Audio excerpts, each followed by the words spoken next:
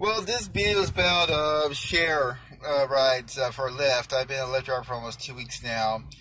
One thing I notice like people do is like um, they do the share thing, but um, they don't realize that it's cheaper. But you guys share, you know, my car with other people if it happens. Um, you know, I get being I got to pick that person up.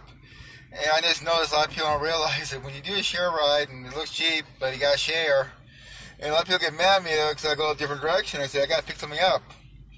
You pick the share. So I wish people pay more attention, you know, before they decide which ride they want. You know I mean? If they're trying, especially um, they're trying to have an appointment or had to meet somebody at a certain time, don't do a share. You know, pay the extra three or four dollars. You know, get your own private, you know, ride from a Lyft or a Uber driver. You know, that's common sense right there. Don't get mad that you're running a little bit late to your appointment. I got to pick up, you know, three other people. It's all common sense. So it is. All right. Bye.